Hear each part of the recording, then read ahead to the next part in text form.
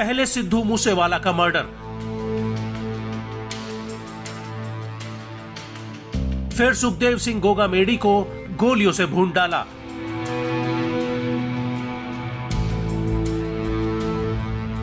सलमान खान के घर पर ताबड़तोड़ फायरिंग। और अब एनसीपी नेता बाबा सिद्दीकी की हत्या। अपराध और दहशत की दुनिया में लॉरेंस बिश्नोई का नाम टॉप के गैंगस्टर्स में शुमार है। जेल में बैठे बैठे ही लॉरेंस बिश्नोई संगीन अपराधों को अंजाम दे रहा है। कभी जेल में मोबाइल फ़ोन का इस्तेमाल करता दिखता है तो कभी जेल में बैठे बैठे ही इंटरव्यू दे देता है। इससे जेल प्रशासन तो सवालों के घेरे में आ ही गया है, लेकिन सबसे बड़ा सवाल ये उठता है कि लॉरेंस बिश्नोई तक हर खुफिया जानकारी कौन पहुँचा रहा है। और वो आखिर कैसे जेल में रहते हुए भी अपने गैंग को ऑपरेट कर रहा है। लॉरेंस बिश्नोई की जेल से ही पाकिस्तान के गैंगस्टर के साथ बातचीत की वीडियो भी वायरल हुई थी, जिस पर लोगों ने सवाल खड़े किए थे। लेकिन अब एक और नामी हस्ती की हत्या की ज़िम्मेदारी लॉरेंस गैंग ने ली है, जिससे एक बार फिर से लोग जेल प्रशासन पर कई तरह के सवाल खड़े कर रहे हैं। लॉरेंस गैंग के सदस्य शुभम लोणकर ने सोशल मीडिया पर कथित पोस्ट डाला है। हालाँकि मुंबई पुलिस इस वायरल पोस्ट की सत्यता की जाँच कर रही है। पुलिस ने शुभम के भाई प्रवीण को अरेस्ट किया है और उसे उसका सहयोगी बताया है। अब आपको बताते हैं कि बाबा सिद्दीकी की हत्या कैसे हुई। घटना 11 अक्टूबर की है। एनसीपी नेता बाबा सिद्दीकी मुंबई के बांद्रा में अपने दफ्तर में बैठे थे। बाहर लोग पटाखे फोड़ रहे थे। रात करीब 9 बजे पटाखों के शोर के बीच बाबा सिद्दीकी पर हमला किया गया। मुँह पर रुमाल बाँध कर आए तीन लोग अचानक गाड़ी से उतरे और ताबड़तोड़ छह राउंड फायरिंग कर दी। इसमें से तीन गोली बाबा सिद्दीकी को लगी। गोली लगते ही बाबा सिद्दीकी ज़मीन पर गिर गए। उन्हें लीलावती अस्पताल में भर्ती कराया गया, जहाँ डॉक्टरों ने उन्हें मृत घोषित कर दिया। पुलिस ने दो आरोपियों को गिरफ़्तार कर लिया है। तीसरे की तलाश में छापेमारी जारी है।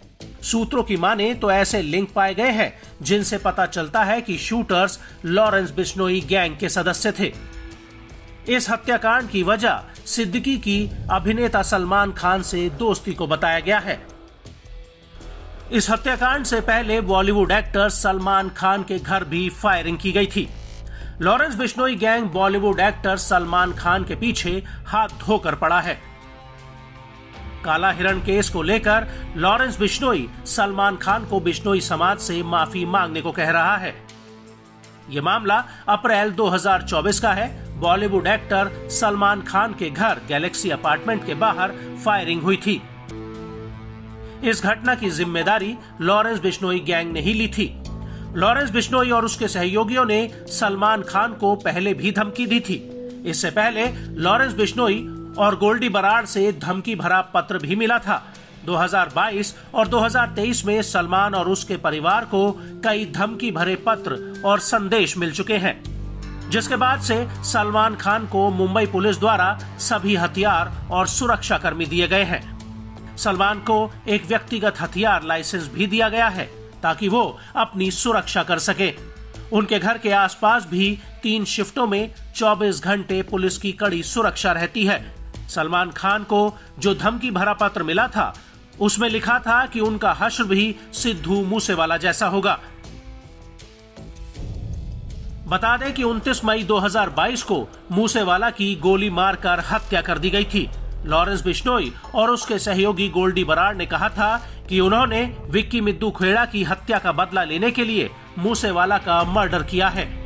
वहीं 5 दिसंबर 2023 को राष्ट्रीय राजपूत करणी सेना के अध्यक्ष सुखदेव सिंह गोगा मेडी जयपुर के श्यामनगर इलाके में स्थित अपने घर पर बैठे थे। उनसे मुलाकात के बहाने आए हमलावरों ने गोगा मेडी पर हमला कर दिया और गोली मारकर उनकी हत्या कर दी थी। बता दें कि लॉरेंस बिश्नोई कुख्यात गैंगस्टर है।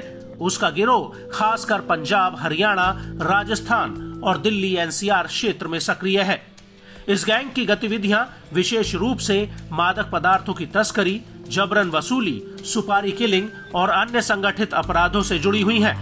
बिश्नोई गैंग व्यवसायियों, बिल्डरों और अन्य प्रमुख व्यक्तियों से जबरन वसूली करने के लिए कुख्यात है